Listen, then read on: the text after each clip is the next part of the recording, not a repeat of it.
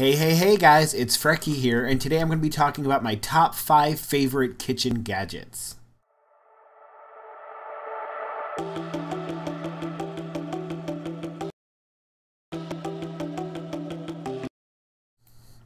Alright, so first I want to thank Lisa from Dumpy to Diva for inviting me on this collab for Top 5 Kitchen Gadgets. If you haven't seen one before, what a collab is, or my roommate makes fun of me for saying collab, so collab, uh, what they are is it's a group of YouTubers that all work together uh, for a specific topic. And then what I'll do is I'll put a link down below to everybody else that's in here. So there's a great group of people that are all talking about this. They all have different versions of, you know, a YouTube channel. So like me, I'm a vlogger and I I'm on a weight loss journey. Some have more where they focus more on recipes. Some they do a lot of shopping hauls or meal prepping. Whatever you, your interest could be related to this type of topic, they're all here. So, From Dumpy to Diva invited me to join and share my thoughts on it. And with that, I do want to go into a quick, although it's kind of not going to be that quick, so sorry, but explanation of my video and how it came about. So originally for this, what I was going to do was have all of my top five favorite gadgets out and use them and make a video and actually make a meal with all of them so you can kind of see pretty easily how quickly and how smoothly everything can go with that. Well, Tuesday, when I was going to record this, um, my bedroom light here was out. And you can't tell from this little box here, but I have like 12 foot ceilings. I'm 6'1, but I can't reach that. So I try climbing on a chair. Doesn't doesn't work. And so I have to get a ladder. And as I've mentioned before, ladders kind of scare me because like the ladder that I have at the moment, it its weight limit is 250 pounds. As of last weigh-in, I am 355. So I'm over 100 pounds over that limit. So it made me nervous. But I went ahead and climbed up on it, changed it as quickly as I could, and got down, and the ladder didn't die. I didn't die. It was great. So I was very happy. So I'm going to put the ladder away. Now, the shelf where all of my favorite gadgets that I was going to talk about, I'm still going to talk about them. It's on this triangle thing in the corner right in my little hallway over here, going through the kitchen into the living room. And I proceed to knock that over. So everything on there goes flying. And so the handle on one of them is broken off, and that's how you actually open it. It's gone. Another thing, the bottom is busted, and so it's all wobbly. And the other, the rest were fine, but those kind of made me iffy. So I, I clean everything up. I get out the super glue. I get out some tape. I get all MacGyver with it, and put it all back together as best I can. I plug them each in individually. They seem to work fine. So cool. I can still do the video. So I rearrange the entire kitchen so that I have my giant kitchen table up against the wall so I can have all of them next to each other on display. And I start. So I start using the one thing, it's fine. Move on to the second one, and when I go to turn it on, it says the lid is not on. So it can't work. But the lid is on. So I'm sitting here fighting with it, trying to talk nice to the camera while I'm fighting with this darn machine. So I'm like, all right, fine. I'll just explain what happened and I'll just cook these on the stove instead and I will just explain how you would use it if you had one that was working. So I could put them in the stove, da da da, move on to the next thing. And I, while I'm prepping the next thing, I just slap the lid on the first one and it starts working. So I'm like, all right, well, let's see if it'll let me use it. So I go and take the stuff out of the pot, put it back in there, put the lid on, and it's working. Fantastic. Super, super happy. I can continue with my video. So I move on to the last uh, thing, start going that, and everything's going smooth. Everything has like one minute till it's all done. That was the, the idea of why this was so perfect, because when using all of these items, because they're so quick, you could have everything done at one time then I blew a fuse. Or rather, the surge protector they were all plugged into blew. And so now I'm scrambling frantically to, because they each have like one minute left, to get them plugged into a different wall one at a time, finish cooking them, and go. And after glancing at the videos, I it wasn't usable. It was too hectic. So I scratch those, I delete those. And I'm like, well, at least the food came out good, so I can show a picture of that. And I forgot to prep the photo, so sorry. But um, it's actually not even going to be on this video. So, but anyway, so I recorded another video and I had the picture on there and I described the items and went into detail and everything that I'm about to do again. And cool, done. So, as we all know, I'm a gamer. I a new character came out on Overwatch. I hop on, I start playing, blah blah blah, whatever. I have until Friday for this video to go up, and it's Tuesday, so cool. So about 9, 10 o'clock that night, I noticed that my webcam is recording.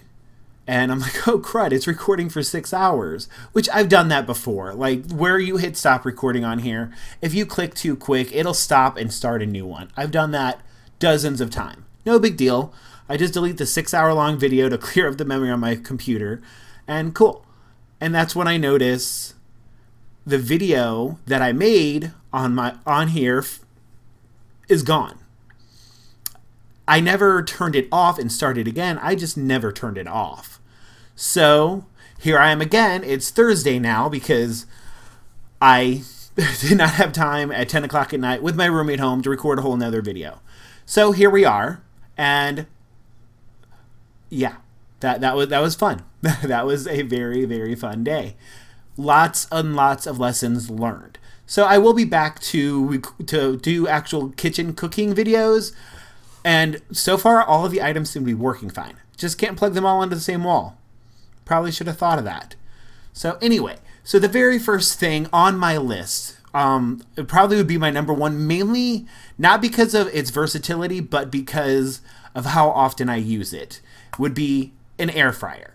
So this you can get on Amazon, this particular one for $58.99. And I use this thing a lot because one, it's not that expensive. I'm, I'm pretty cheap. And two, it is super quick. And so, like, when I get off of work, for those that are new to the channel, I'm a hairstylist. So, six to eight hours of working, and we don't stop. We don't clock out for lunch breaks. We don't do any of that. We just go. So, a lot of times after that, I'm tired after work. So I can come home, and I have literally done this where I just like run across the street to the grocery store, come home, and grab chicken strips, like chicken tenderloins, just raw chicken tenderloins, and just throw them in there, cook them for like 12 minutes, and they're perfect. That's without any seasoning, but you can do plenty more with it. You can have breaded chicken strips. What I made the other day, which I don't have a picture on here for, is uh, I made Southwest chicken strips, which was really good because then you just, all, for that all it was. Um, I don't remember everything that I put in it. So like in a Ziploc bag, throw in the chicken, throw in some lime juice, some cumin powder, some chili powder, um, some hot sauce, and a couple other things, and just let that sit for like 10 minutes and then toss them in there. Perfect. But this thing has a bunch of other uses, and these are just some that I've used it for. There's a million more. I mean, Google is a thing, so obviously I want to give advice, but I'm not going to list everything. But so things that I've personally used it for is like pumpkin seeds. They're perfect for, you know, cooking those suckers up. And with it going to be fall soon, looking forward to that. Another thing would be chips. Like obviously your traditional potatoes, you slice them up real thin, toss them in there. But you can make veggie chips. You can make kale chips. You can make pickled chips. All amazing and then just rapid fire other things is you can do hard boiled eggs in here. You can do fries or sweet potato fries, the pre frozen or fresh. You can do tater tots or veggie tots. I really love making cauliflower tots. So good. Toss them in there. Perfect. You can do fried green tomatoes. You can do buffalo cauliflower. You can do a million different things, and all of them are super, super quick and not a lot of mess. The only thing that I would complain about with this particular air fryer is it's not that huge. I think it's like a six quart. Um, so certain items you you can't overstuff it because if you are doing a lot, you don't want them all just mashed together. They need they need room for air to flow between them. So you do have to work in small batches. But for me, I'm a single dude. I can easily put just enough in there for me in there. It's not great for mass production, but for one or two people, totally, totally fine. So I love this, and I, I'll have a link below to all of the things um, for for them on Amazon because that's pretty much where I buy anything. Pretty much anything in my life comes off Amazon. Even last night, couldn't sleep. Don't know why, but at 3 a.m. decided to buy a kilt. Don't know. It happens. But anyway, next thing. This, I'm sure many people will have this on their list, is the Instant Pot. Like this thing, it is a pressure cooker, a slow cooker, a steamer, a rice cooker. It even has a saute option. So many options. You can even like if I can I can I do this? Let me unlock it and let me make it a little bit bigger. See all those buttons there? They have options for soup slash broth, meat, stew, uh, bean chili, poultry, rice, multigrain, porridge, steam, all kinds of stuff on there. And so, like on here, just some things that I have made with it. Uh, let's put that back where it belongs. There we go. So, some things that I've made with it um, is easily shredding meat. You toss that in there. I forget the time, probably like 12. Everything seems to be 12. But you put that in there, like say chicken breast or chicken in general steam it up, turn it, pressurize it, and just it falls apart with a fork. You don't even really have to work super hard at shredding it. You just pick it up a million times and it'll just fall apart and be shredded. It's perfect. But um and great with like, you know, toss barbecue sauce or sloppy joe sauce or whatever. Boom, easy. Uh but other things that you can do. You can do a whole roasted chicken. Like a rotisserie chicken, you can toss one of those suckers in there raw, cook it for 30 minutes, and it is perfect. You can do baked potatoes for like 12 minutes done, steamed vegetables. This is what I use it a lot for is because that's what I was using it for the other day was I was making honey glazed carrots. You literally put carrots in there, 3 minutes, done. They are soft, they aren't mushy, but they're soft, tender. Then you just toss in some oil or some honey and boom, they were fantastic. I did eat all the food I made. It was great. Um, again, you can do hard boiled eggs. They're done in five minutes in this thing. You can even make a cheesecake in here, and it just takes 35 minutes. I haven't done that one yet just because cheesecake is a weakness of mine, and I feel like if I make it, I am going to eat the whole thing. And obviously, I'm on a weight loss journey, so eating an entire cheesecake not exactly on my agenda. If I choose to have cheesecake and use the points for it or the bites for it, I will go buy a slice of it from somewhere. But you can make it in there in 35 minutes. So one of these days, as a birthday or something, some kind of amazing whatever, where I'll do that. But you can also make soups in here. You can make yogurt in here. That's pretty cool. It's pretty easy. It's time consuming and you need a meat thermometer, but you can. You can make rice in here. So that's awesome. And spiced apple cider. You can do so many things in here. Soups are the main thing that I personally use it for just because it's the easiest thing. It's the quickest thing and it's giant pot. So why not? All right, so anyway, you can get I don't think I said it. You can get that on Amazon and it's $89.96 for this particular one. Uh, they have other ones. They have some that cost more. They have bigger ones. They have smaller ones. A lot, a lot of options. But for basic needs, I think this size is perfect. And you can make bulk items, so it's you, it's not like the air fryer where I'm like, you need the bigger ones or anything like that. But yeah, so rice cooker is the next thing on my list. The Instapot you can use to make rice, but this thing is, you know, designed for it specifically. And I feel like it's kind of great because you can have the rice cooking in here while you have something else cooking in the Instapot and have it both done. Boom. So this particular one, this is a big honker. So it is $93.11. I'll put the link to it below, but you can get some as little as $19 on Amazon. It doesn't have to be this big guy. But I like it because of how big it is. You can make a lot in it. And especially if you do use it for other things. Because obviously you can make white rice and brown rice. And actually that's not the one that we have. We used to I used to have that one. I don't anymore. I got one that has a bunch of different options. It looks similar to the Instapot actually. I get them confused sometimes. But like ours is actually deeper than this Instapot. But either way, this one is the one that I used to have and it was fantastic.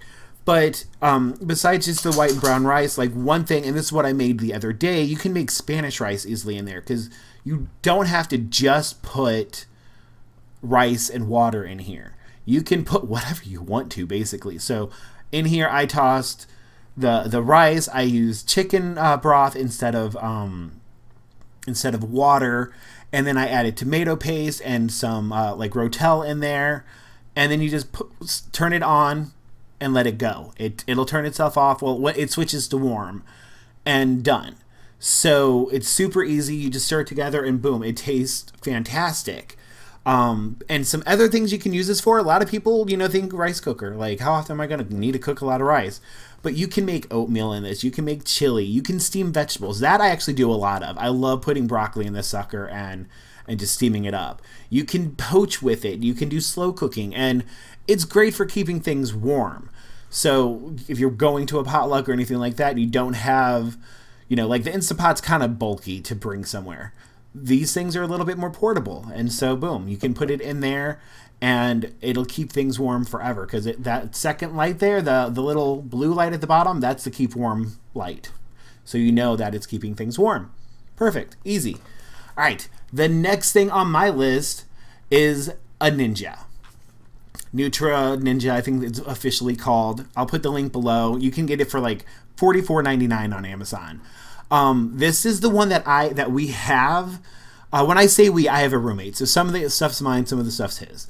But um, we have this one, and then we actually have uh, whoop, over here. We have um, an another option for it where it's a lot bigger. And so, like when I make banana ice cream, I use the bigger one because it's easier. I love the, these options because you can make a personal smoothie with them. So you can make a lot of stuff with them, but I do like the bigger containers rather than just the personal cups. But the personal cups come in handy because they do give you like perfect sizing. And plus then you can just switch it out. Like you blend it on one, you screw off the blade, you put on a lid and boom, it's easy. And I've said boom a lot in this. I don't think I've said boom this often in my entire life. Don't know what's up with that, but it's a thing. So anyway, so as I said, smoothies are perfect in here. The number one thing I use this for is banana ice cream. I love making banana ice cream, especially with me being on the carb conscious plan on iTrack Bites. It's one point. So if you haven't done it before, what you do is you peel two two and a half bananas, I usually peel three and like you know eat half of one, and then break them in half and put them in the freezer. Best is overnight. You can do it for a few hours, but I, I typically find it it's quicker if you let them freeze overnight because if they're frozen overnight and they're all the way solid, then when you take them out, you put them in your blender, you add a cup of almond milk and a splash of vanilla, blend it up, and you have ice cream. If they're not overnight frozen, then they tend to be softer like a smoothie, but not even as smooth as a smoothie, if that makes sense. So a lot of times I blend it, if I've done it too quickly, I'll blend it, then pour it in a bowl and pop it in the freezer, and then, you know, an hour or two later, I can have the ice cream. And that works wonderfully. But I prefer just making it easier, just plan ahead, do it overnight. Uh, other things you can make with this thing are nut butters. You can literally make your own peanut butter or almond butter or whatever butter with these things. You can make crushed ice, perfect for parties. You can make hummus, you can make dips, salsa, guacamole. You can make batter like pancake batter or waffle batter. There's a lot of other things. That's just some of the basics that I've done. I'm sure other people and maybe somebody else on this collab will talk about the Ninja or their own version of it. But um, there's other stuff you can do, but that's just what I mainly do. Honestly, the main thing I do is make banana ice cream because I love it. It makes me happy. Makes me really, really happy. Anyway, so the next thing, it's not really a gadget per se, but measuring spoons and cups. These make my life easy. One, I'm not a person that can easily just eyeball something and know that's a cup, that's a tablespoon, that's a teaspoon. I'm not good at that. Like, yes, I will eyeball some stuff when I cook. If it's like spices, you know, it's a pinch of this, a dash of that, or whatever. But for the rest of cooking, these things I use left and right. I literally have several sets of the spoons, and I have two of the the big cups there. and they are so, so helpful. Plus, what's perfect is if you're like me and trying to lose weight, you need to portion your food. This way, you know exactly how much you portion, especially if you're a meal prepper. Those suckers come in handy, especially the whoop, wrong way, the, uh, the guys up here. Those because they'll have half cup and, and a cup in, in the scoop form. If you need, you know, to measure out your your rice, your cheese, your whatever, you can use those and it's perfect. Boom, toss it in, move on to the next item and keep going. And it's great for when you are like say you create a recipe because uh, I, I, have a friend that um, well I, I, saw another youtuber that was having issues not knowing how many serving size something is if i could think of her name i would mention it right now but i can't think of it so she'll be below. Anyway, um, and I'll put a link to her in the comments in the description box. But anyway, she was talking about, you know, she's new to trying to lose weight or trying to cook for herself and everything like that. And she doesn't know how to tell how many servings something is, which is a legit concern. Like, I grew up in a family where the second I was tall enough to reach the stove, it was thrown on my chores list. We took turns cooking. So I, I'm lucky in that department, but not everybody is that. So, like, what I do, like, say the example she was talking about was chili, and this is how I explained it to her in um, in in her in her comments. But you make your chili just like you're going to. You and then you go to the uh, any recipe builder like on iTrackBites or whatever app you're using, plug in all the ingredients, and then chili's in one pot. Give yourself another pot. It's a little bit time consuming, and maybe somebody else has a better option but literally take that measuring cup, scoop out a cup, pour it in the next, and scoop up like if a cup was going to be a serving. I think a cup is a pretty decent size of chili, especially. But whatever you are, like however much you personally would want to eat, and measure that out, and until you're out of stuff in the first pot, and then you you save that in your recipe builder. And you, so say you made chili, and it has 16 servings in it. You know every single time you make that, if you follow that recipe, it's 16 servings pretty easy. Made simpler, I, am never going to get used to pointing in the right direction. Anyway, made simpler with the measuring stuff. So they come in handy. I love them. They're super, super helpful. I use them for literally everything I cook, especially if I'm measuring out how much of it I'm eating, which I need to do.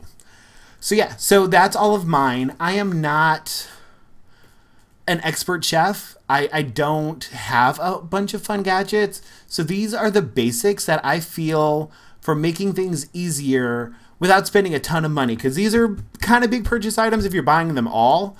But if you buy them one at a time, it, it, it's it's not bad. And they are so useful for so many different things. And like say, you know, if you had to pick one of them to get one, I highly recommend the air fryer. Just because it's super easy and I love fried foods, but you don't have to actually deep fry them. You can air fry them. So that's the one I would recommend most. But as far as for having the most versatility, the Instant Pot, it can do everything except for air frying.